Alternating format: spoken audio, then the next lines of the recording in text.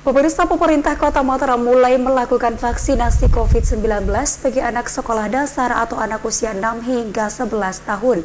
Selain sebagai upaya membentuk kekebalan kelompok, kegiatan vaksinasi anak sekolah dasar ini juga menjadi bagian dari persiapan yang dilakukan oleh Pemda setempat dalam menggelar pembelajaran tatap muka secara penuh.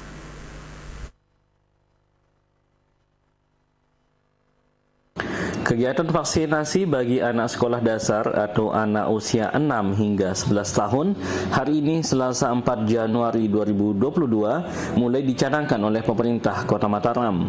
Peluncuran kegiatan vaksinasi anak usia 6 hingga 11 tahun ini di Kota Mataram dipusatkan di SD Negeri 36 Cakra Negara serta Madrasah Ibtidaiyah Negeri 2 Mataram. Bantuan Lombok TV pelaksanaan kegiatan vaksinasi bagi anak 6 hingga 11 tahun yang dilangsungkan di SD Negeri 6 Cakra Negara disambut antusias oleh para siswa maupun orang tua siswa. Nampak tidak ada sedikit pun ketegangan maupun ketakutan yang dirasakan oleh para siswa yang hendak menjalani suntikan vaksinasi COVID-19 ini. Bahkan para orang tua siswa pun sangat mendukung kegiatan vaksinasi ini. Mereka mengaku tidak khawatir dengan pemberian vaksin COVID-19 untuk anak di bawah usia 11 tahun karena pemberian vaksin ini diharapkan bisa membuat anak-anak mereka terhindar dari serangan virus. Selain itu dengan telah dimulainya vaksinasi anak, mereka pun berharap pembelajaran tatap muka secara penuh bisa segera dimulai. Langsung dapat gratis. Kemarin kan kita paling nyari vaksin. Walaupun kita jauh tempat tinggalnya. Mudah-mudahan cepat ini juga sekolah tetap mukanya. Dia kangen sekali zaman-zaman dulu sekolahnya. Tidak ada kekhawatiran bunda awal. Tidak ada.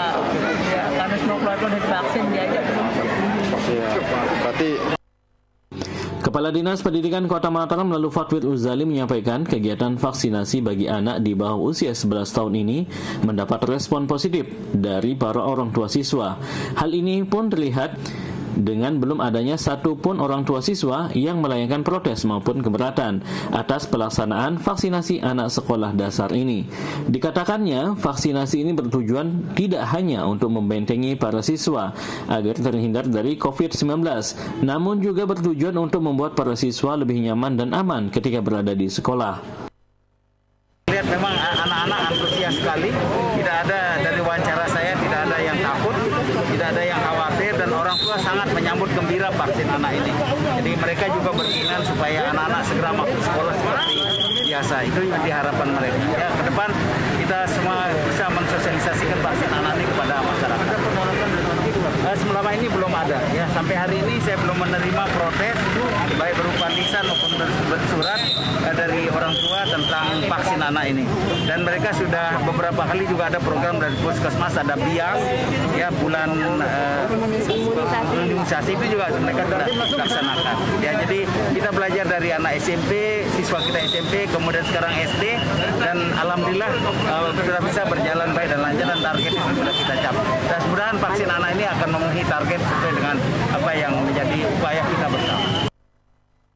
Untuk diketahui kegiatan vaksinasi anak dengan rentang usia 6 hingga 11 tahun ini ditargetkan akan menyasar sebanyak 51 ribu siswa sekolah dasar, terdiri dari siswa SD, Madrasah Ibtidaiyah Negeri, dan swasta. Kegiatan vaksinasi bagi anak ini akan dilakukan secara masif di semua sekolah jenjang pendidikan dasar di Kota Mataram, sehingga dengan melihat tingginya antusiasme anak, khususnya para orang tua siswa mengikuti kegiatan vaksinasi untuk anak di bawah usia 11 tahun ini diharapkan akan dibarengi dengan ketersediaan vaksin yang mencukupi. Irham Rosidi, Lombok TV, Mataram.